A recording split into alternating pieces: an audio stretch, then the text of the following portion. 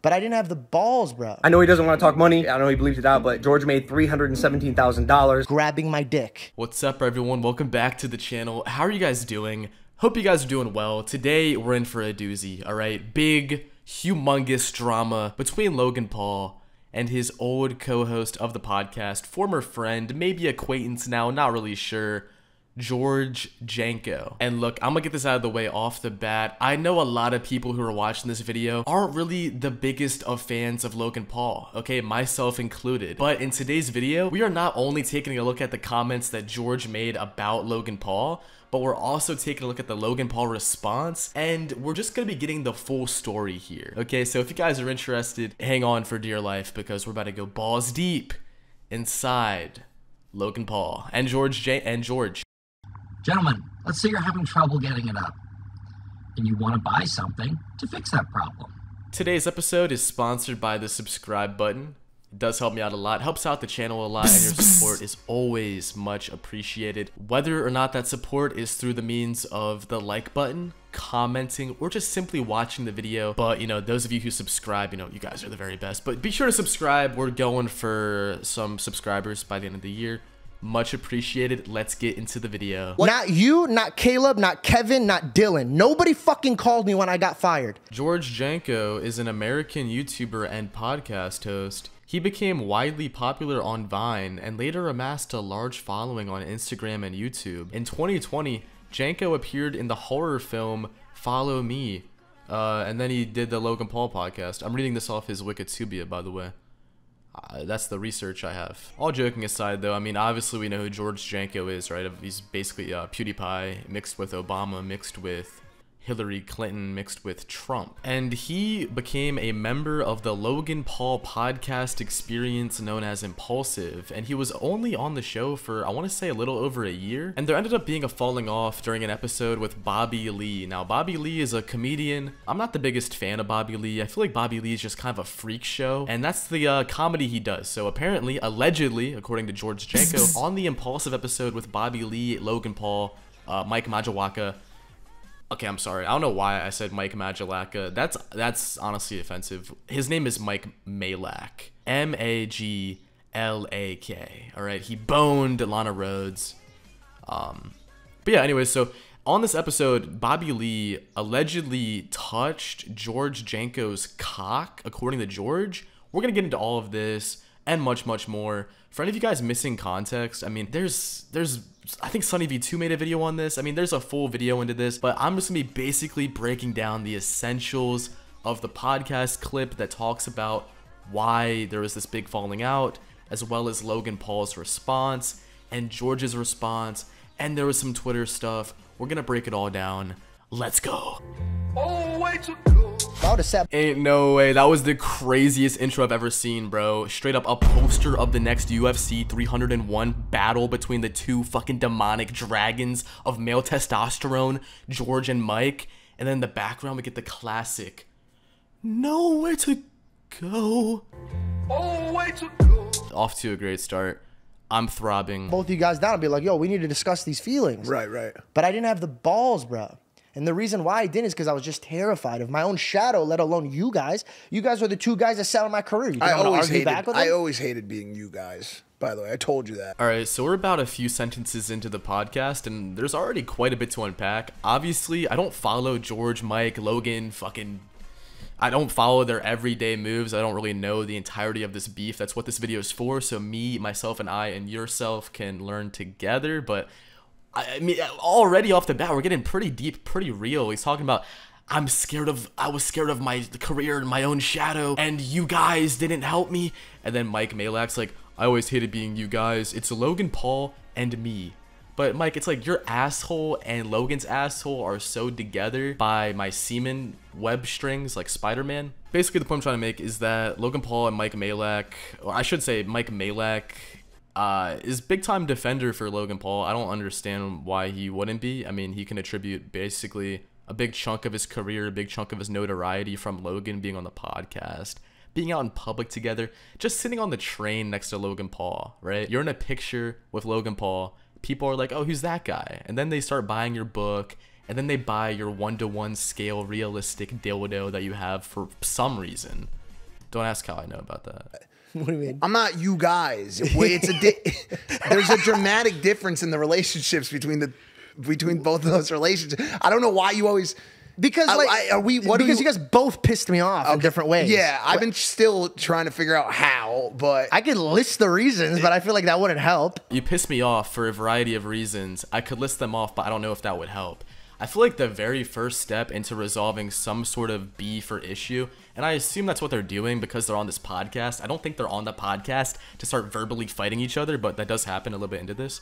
But I will say though, isn't the first step of therapy talking and then doing? Uh, shout out BetterHelp. Uh, how is BetterHelp still uh, a business, by the way? Like, don't they? Isn't that shit fake as fuck? I'm never getting a BetterHelp sponsor. it might it might be cathartic. But I mean, I don't know how you want to. do I don't know which parts of everything we're Oh my god, George Janko vagina sighting number one. talking about. I think that And when wha- it comes to our relationship, i i- it's going to be with any relationship. If I can't take responsibility and fix myself before even looking at your problems, like then I'm just not a good human because half of my issues with you probably stemmed from my behavior.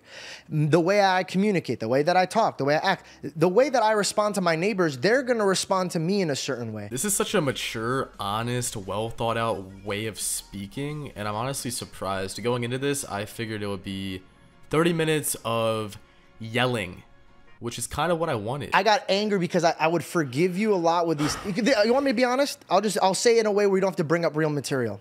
I think that you're a street dude that came from selling drugs, and your one street mentality, like my cousins that do sling, is Why would he just put all of his cousins' shit out there like that? What the fuck? Are his cousins cool with that? They have to be cool with that. They have to be either not doing that anymore. Well, he said they do sling, which makes me interpret that they are like actively in the streets of Detroit selling drugs to homeless people. But anyways, so Mike Majlak angered George Janko because of his origin story that he used to sell drugs. Well, it relates to that at least. Let's see where he takes this point. I have to protect myself first, and then I'll protect others. But that's but that's not. And and I, this is where we probably have to get into the material. Yeah. okay. The Bobby Lee situation. Who was the first person that jumped off the couch and said George just left? That was not good. We have to fix the situation. And and But did, and did who they not, tried to? did they not cut shit that you should have stood up for me and said, "Hey, you can't cut that shit. That's We- gonna make him look like an idiot for leaving." okay, let's let's slow down, and I'll and I'll answer that. All right, this is my first major issue with this podcast, and it's nothing George said, but it's actually just kind of like what happened in the whole situation that they're arguing about. Allegedly, in the Bobby Lee episode, there was a lot of discussion. I think a lot of it stemmed from George basically being like, yo, chill out, like, yo, you're making me uncomfortable. I believe that was actually cut. And the sad part about all of this was that there was no discussion being had. There was no like second thoughts. Like there was no re-edit. Like that was it. That was put on the internet, and everyone thought George was like this fucking little weak vagina. I shouldn't have said that. Sorry. Um, they he's they said that George is like a fucking idiot for leaving the podcast, but there was context that was cut out. What the fuck, dude? we um we have always cut this is all healthy by the way we have always cut start crying. no no, No, no, which by the way which which by the way would which by the way would be healthy Look at Mike Majlak, that little slight little, oh yeah, crying would be healthy.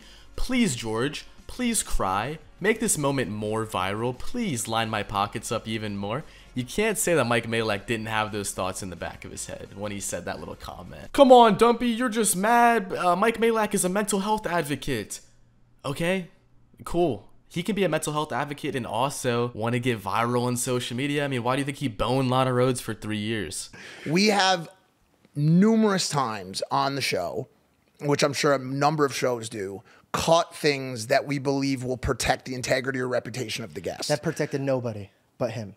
no no of the guest that's that's what i'm trying Well, no, what about no, the no. guy that you break bread with, bro? but, but we we we removed a number of things that you said on the podcast Name one.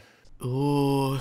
Uh, real quick, I just want to note that, uh, and this is also kind of like a middle school thing. I don't know how middle school or max school it is, but George did just say that, oh, what about the guy you break bread with? Then I'm pretty sure later on he said that he made no money on Impaulsive. And then Logan Paul, in his response, he did show receipts of the money that George made. I do also want to elaborate further, though, that I do believe we are kind of getting sidetracked from the point and total, which is the fact that George left the podcast because Bobby Lee is kind of a psychopath, right? He's kind of a freak. But I will say though, since we're being fair to both sides, that is one thing you should pay attention to. Or this point is total horseshit and no one's following this whatsoever. Um, if so, I mean, leave a like on the video. Well, no, I'm not going. I'm not going. booty, to. bro. No, Never no. Do once. you want me to? Name there was one- something that you said on the laser beam episode. What laser beam episode? What, do you remember Lazar beam, laser beam in Australia when What'd we I did say? that episode? Dude, hold the fuck up. Did he just call him Lazar Beam? That's not his name, right? It's it's Laser Beam. Dude, hold up. I know some of you guys watch that guy. Is it is it is that like an inside joke? Did he have a second channel called Lazar Beam? L A Z A A R?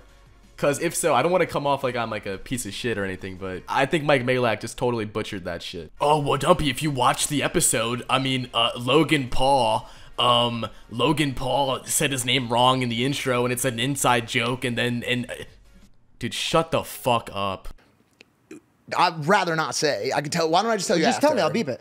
You said something about like laughing at a girl getting hit in like a parking lot. You saw like a Oh, fight. yeah, I just said the joke wrong. no, no. I understand that, but I'm just saying. Yeah, I didn't just- sexually just- harass somebody, man. I'm not. Oh my god, the conniving, violent stare of angst and anger by George. Check it out. Listen, I'm not trying to to die one to one. I'm just saying we. What the hell is that? Bro, this podcast has so many great moments. Why did no one tell me to check this out? Why did nobody tell me to check this out? Why did no one tell me to make a video about this? He just simulated oral sex with his mouth for a podcast. Trying to But you, oh, okay, Mike, if, if this was an episode that was you and what happened to you happened to you, and then the whole world thinks that I walked away because I can't take a joke, that's fucked. well, bro. well, it that's fucked. it parlayed into more stuff happening. That is fucked up. You can't do that. You can't cut someone out of context, have the entire narrative be this person is weak, they can't take a joke, they walked off the podcast because they're sensitive, blah, blah, blah, when that wasn't the full context of what happened. Have that be the entire public opinion and not correct the record afterwards. That is fucked. down the line. Like it just became at that point. uh, You saw me. I went on Bobby's show. yeah, Right. And they cut around it. You said that Well, you, I didn't. when- I have no control over that. I didn't. I, I, was you saying, saw. like, I you try saw to make how- peace with this guy. I know. Multi, you've seen me. Yeah. I've tried to make peace with them behind closed doors. I try to reach out. I try to be cool. But by the way, and I'll just say this. We'll just empty it out. I never had a problem with Bobby Lee. no, he knows. I that. had a problem with the way that Logan and you were kind of gassing him to keep doing. He started the episode putting his balls in my face. I let that one go. Then every two seconds he kept grabbing my dick. I don't think. How would you feel if a man that I has his back completely towards you, that only turns around to grab your dick, Right. talk shit to your face, and you can't smack or beat the living Well, brakes off of this guy? so- so I- because Logan makes me apologize to this man, or I don't have a job on Impaulsive anymore. Strong words from a strong man, Captain Insano. Strong words from a strong man, Captain Insano. Now, to be 100% clear with you guys, I totally see where George is coming from in this situation, but I want to take a quick look and we're going to cut back and forth a little bit. I feel like that'll be kind of better, especially when they're talking about a certain topic. I do want to talk about Logan Paul's response for a second. It's pretty quick and cut and dry. Let's get into it. I had to start my own show because And there it is right there. The first nuclear strike. The first impoundment of the booty hole of George Janko. In the OG podcast, George claimed that he spent 10,000 a month, 120,000 a year on impaulsive. Logan Paul responds saying that all expenses were paid for, prepaid Visa gift card, 10 Chuck E. Cheese coupons, and a 7-Eleven establishment. That was racist. I'm sorry. But Logan Paul has yet to address the Bobby Lee situation, which was a major crux of this entire debacle in the beginning. The rest of the things that George said, maybe they were said emotionally. He maybe he didn't put enough thought into it. Maybe he didn't really think it out before he said that, and that's why Logan Paul has all this proof and ammo to drop on him. But I will say, I'm not completely satisfied until Logan Paul addresses the elephant in the room. Bobby Lee's penis touching habits and the fact that he got cut out of context and there was no narrative being fixed. this is a guy who's sending Hey guys, watch out, watch out, watch out. If you guys make $5,000 a month, you're looked as a uh, looked at as a poor homeless cretin.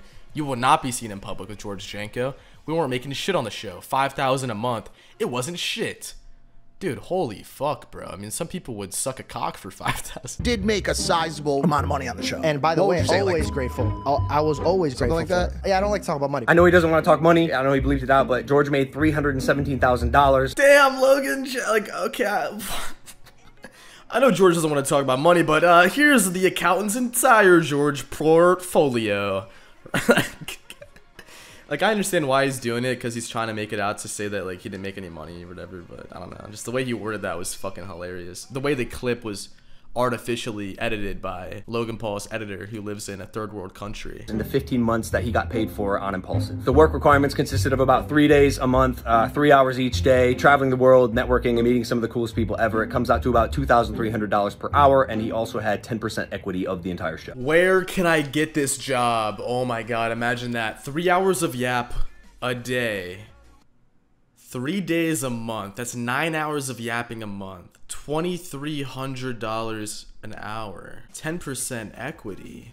Millions of dollars in potential revenue earnings from yappage. This is where things get deep. Okay, would you guys do it? Would you guys sell your soul to Logan Paul?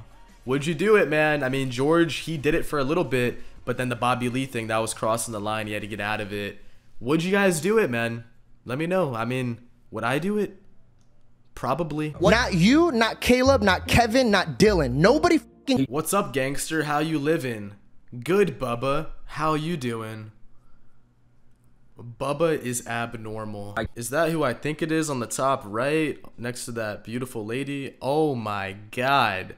1997 George. Totally understand, we even praised. One of the things that I love Uh, right here, I was like, hey, we gotta get you Prime because I saw him drinking our competitor. Oh my god, that little thing in the background. I've watched this clip so many times. Even editing this video right now, recording it, it still got me. I put my headphone up and I was like, "Did you say my name? What's going on, bro?" Also, my uh, servant Alfred is here. Hello. and he told me to call him. He was filming my reaction to tell me he took a deal with a competitor. I told him, please don't film. Like, I, I'd like to talk about this. I hope you're joking, by the way. The truth is, I thought it was a bad look that my best friend and co-host took a brand deal with our competitor without uh, consulting me, asking If that's true, by the way, George fucking hates Logan Paul. Oh my god, it's so obvious. He wanted to do a video, or at least put the uh, cameo, a clip of a video, where he's literally getting Logan Paul's live, real reaction to saying, Hey, fuckface, I got a sponsorship with your competitor, Celsius. How does that taste? Like my ball sweat or what?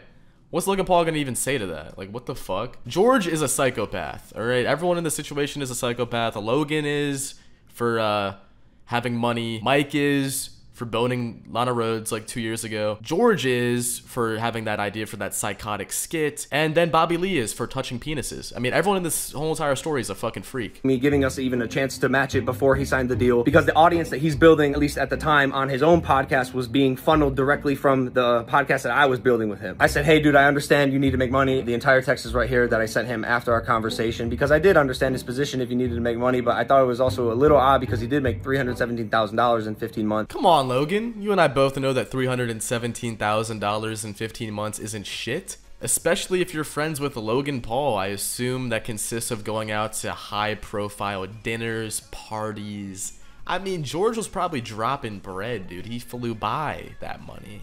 Especially considering the fact that he only got to work three days a month. I mean, what kind of shitty boss are you, dude? $2,900 an hour? What a fucking piece of shit Logan Paul is, huh?